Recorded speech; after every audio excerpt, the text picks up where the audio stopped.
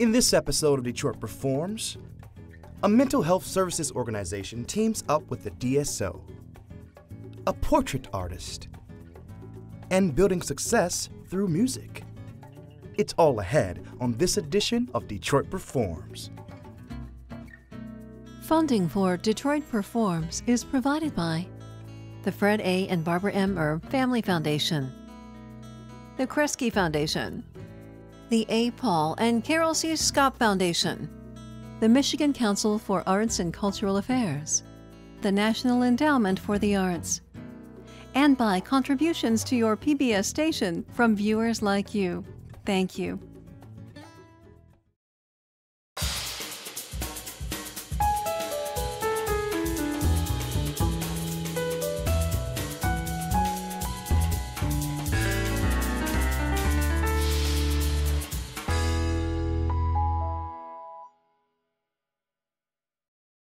Hello and welcome to Detroit Performs. I'm your host, DJ Oliver, and today I'm coming to you from the home of Janet Aronoff, who is hosting a very special concert featuring Kadima Mental Health Services clients who have been working with the Detroit Symphony Orchestra musicians for the past eight weeks. Now I'll be here the whole show, but first, let's see what this performance is all about.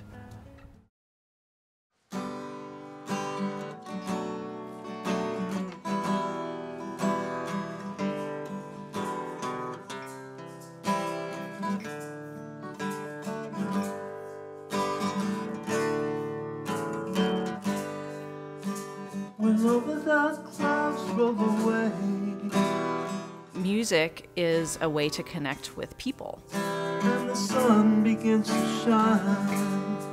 They're people with gifts and talents and struggles like all of us have. I see my freedom from across the way. They're some of the most eager students I've ever seen and ever worked with, which really makes it enjoyable. I needed help. My mom got me to come here, and it's helped me that they've had a lot of activities so I get out more, uh, you know, talking with people, socializing. Kadima serves people who are struggling with uh, typically chronic and persistent mental health challenges, who need support to be able to live independently in the community. Kadima's Creative Expressions program was started to provide the people we serve with opportunities to experience the arts and then to have that integrated with their formal treatment goals. Studies go back years showing the benefit of participating in arts programming for people with mental health challenges. We were introduced to a number of arts organizations, including the Detroit Symphony Orchestra, that um, come and work with people we serve. Music is important for therapy because it helps people get in touch with their emotions. When you walk through a storm, hold your head We need to really feel in our lives in order to get better. And music just kind of helps that come out in a really honest way. Members of the DSO, they come to us and they we we interact, we play music together.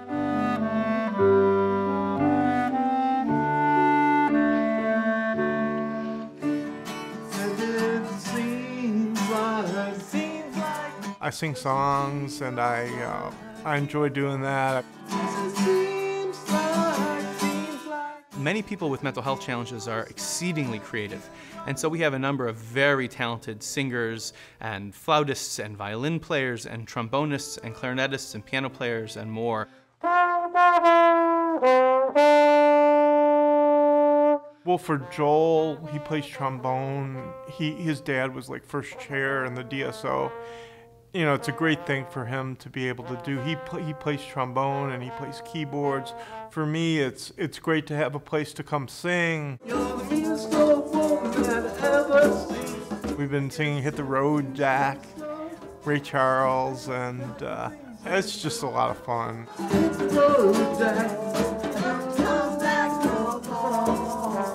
What you say? So remember the two fingers on the right hand? The uh, DSO musicians spend time working on pieces that our clients are interested in working on and learning more about. You listen and play. Listen, play. And then for some of our other folks who don't have uh, a history of playing instruments, there was a music therapist who worked with them on some other skills that were integrated into their treatment plans. The music therapy piece isn't to be discounted. For some of the people we serve, just engaging with a group in a group activity and learning some basic music skills or some more advanced music skills is a, a, a great way for them to be engaged in the project as well so many of the people that we serve have been discounted through their whole lives. Have had it so you know people don't don't believe in them or see the potential that they have. And what's been so wonderful about the musicians who are with us is they they really see the potential uh, there. They're just smiling the whole time when they're engaged and. Uh, they're doing something they really love to do. They're experiencing something new, and we try to plan the session so that everyone can be involved when we're doing a song. They have me lead sometimes, like last time. We had a lot of fun on Hit the Road Jack.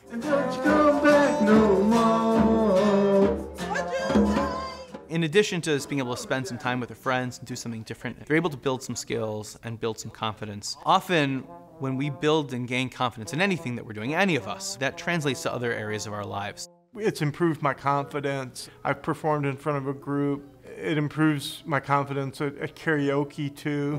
And it gives so much light, and it comes from the sky above. We culminate this experience with a recital, with a performance, an opportunity for the people we serve to show to their friends and family what they've learned and what they've built.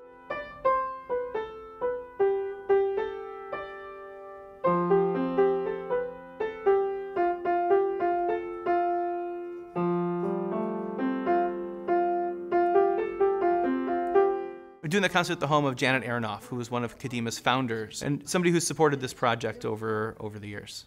I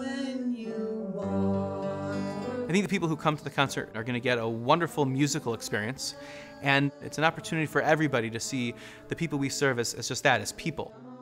The participants here at Kadima have become much more confident with playing in front of other people. At first, I was like, I had my eyes like practically closed, but I, I was looking down at the lyrics but then when I connected with the audience, I felt that was the best thing.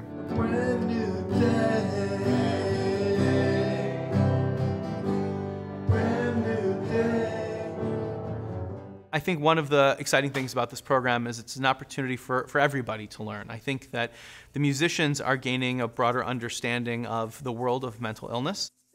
The people here at Kadima are just such interesting people and interesting to talk to and all have good hearts and willing to learn with a little luck, these sorts of programs can help reduce stigma and provide more opportunities for people to talk about mental health challenges and seek care. We're thrilled these days more people are talking about mental health, are seeking out the care they need and getting the care they need. And it's imperative that we help people build up skills so they can live a rich and productive and meaningful life. Anybody interested in getting involved with Kadima who, you know, who has some issues, come on out, get involved. You'll thank yourself.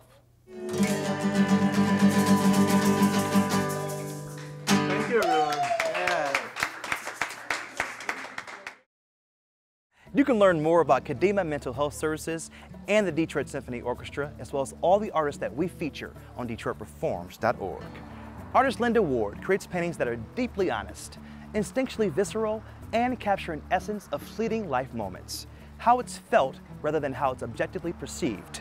We caught up with her as she was creating her 500 portrait project. Take a look.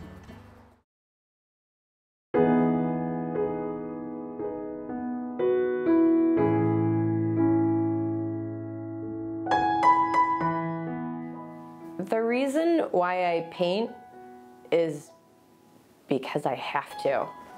Because I have something to express that cannot be expressed any other way.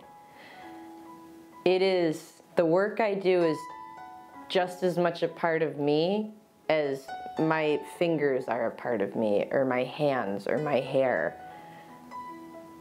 And I do get into times in the studio where I'm in the studio so much and for so many hours that I go out and I'm trying to talk and socialize with people and I don't even know what to say. I don't even know how to say it.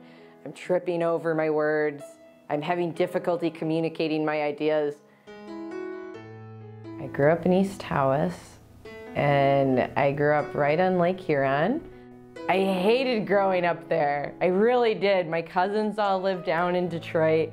I used to beg my parents to move down to the city, anywhere with sidewalks. You know, you hear about all these things that people do and all these experiences that they have in the city. In a small town, those things just don't happen. It's something that you read about in a book or you see in a movie. You know, I've been living here in Detroit since 2008. And even now, sometimes I think about as a child what I would, what I dreamt of, and I'm living it now. I started a series of 500 paintings in November of 2017, and I'm about two thirds of the way through the project right now. Uh, this is the first major art series slash artwork I have done that is totally my own that's not, you know, something that I'm doing design-wise for a product or for another company, and it's not, you know, a, a, a set design for a play. So when I started off this series, I did some preliminary paintings that are not included just to kind of get a feel for what I was going to do and how I was going to do it. You know, what size was I going to work in, what medium was I going to work in, and on what surface was I going to work on. Am I going to work on canvas? Am I going to work on paper? Are these going to be drawings? Are they going to be paintings? What am I going to do? And at first, I was coming up with lots of different subjects. So then I decided that I was just going to do portraits and just leave it at that. And I decided to do them in uh, groups of seven. So that way they have a similar color palette and a similar composition. And the reason for that is just to experiment and learn more about how color works together and how altering simply the amount or saturation of a color from one piece to the next dynamically changes how it's perceived and what kind of visual language it's using. If you take a painting that has the same colors, let's say one has like a grayish mauve and then one has like a really hot fluorescent yellow. And if you give one painting more of that grayish tone than the other painting, it's going to read completely differently. The emotion that comes through in that painting will be radically altered. So this series was a, a great exercise in understanding better how that comes together. But interestingly enough, the paintings often turn into people from my life. And it, the most interesting thing is it's not people who are very close to me or ever been that close to me or ever been had a, what I thought was a large role in my life. It, it sort of made me think about my life in a bigger way and the people who have come into my life in, in a bigger way and this idea of community. Art is a two-way street. I don't think that it is just about the artist and their ego. I think it also is a participatory process where the viewer is just as much a part of how this ecosystem works than just whatever the artist wants to say. And if an artist is trying to say something and it is lost upon the viewer, then the artist needs to go back and figure out how they're going to communicate this better. We're not machines, right, who create this art. And the difference between a painting and uh, a digital drawing of something that has not been created by a human, that's a computer digital drawing, is it doesn't have soul to it. And it needs to be imbued with some kind of soul or grace.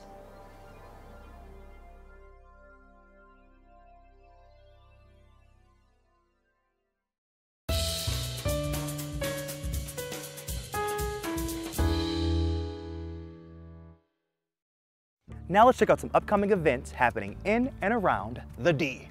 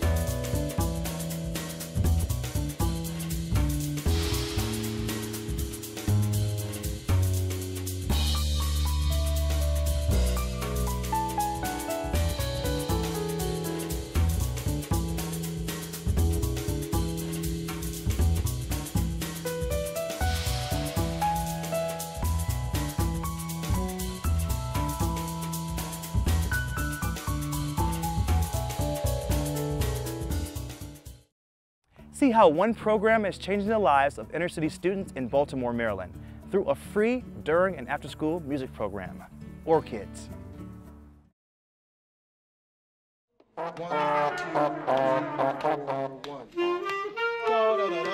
There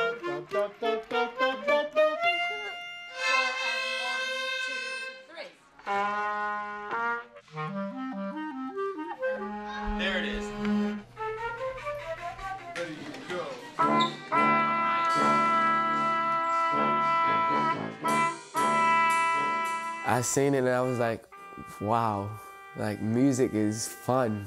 And so I thought to myself, like, how can I become one of them or do what they're doing? We're using music more as a vehicle to create a future filled with possibility for these kids. And we started an after school program with 30 kids. We're well over a thousand kids now. We serve them meals every day.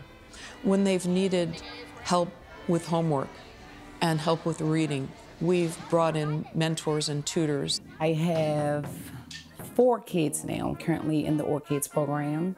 It's music, music, music every day. It shows them leadership skills. It helps them academic wise. They taught me how to play music. Also, they showed me through hard times they'll be there and they'll always have my back. And I want to do that for other kids too. Keith Fleming has been here since day one. He was accepted to Baltimore School for the Arts, and he'll be attending there this fall in 2016. The kids see him and they see when he was corrected by his teachers, he didn't get defeated, he didn't shut down, he tried harder and he did better. What makes OrchKids special is its intensity. It really gives them a sense of self worth at a very early age that they're important, and if they stick to something and they dedicate themselves to something, they can really open some doors. Their environment already is intense. You know, we're living in high poverty areas and broken family homes, and so to combat that, the intensity of what we're offering them, I think, is very special and unique. So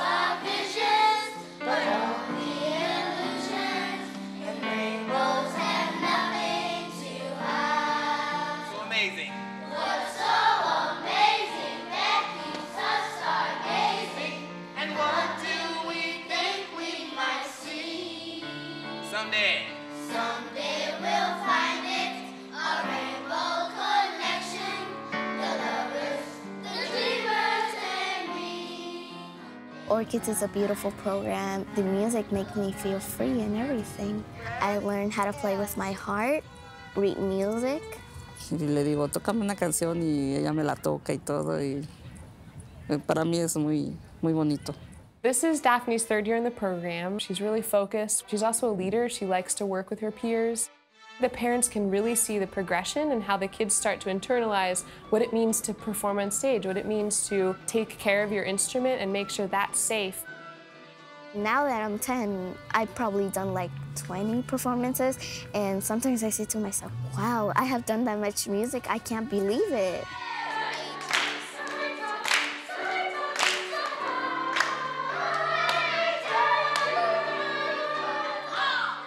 And music is an incredible tool to use because music is non judgmental. When you play a phrase on the tuba, on the violin, you're always right.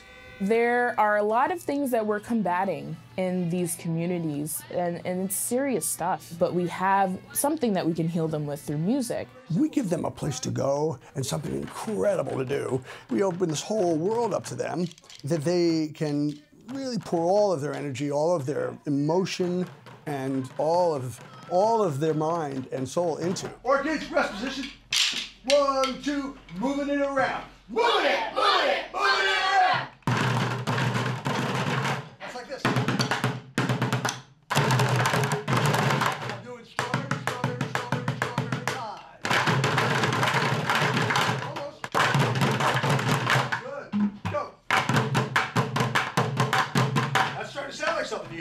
Then when we get to a performance, and they are so happy and so proud of what they're doing, and I'm incredibly proud. I'm in the back, like wiping away the tears, like, you know, I'm so proud of them. You played beautifully, and I'm so proud of you, and I love that stuff.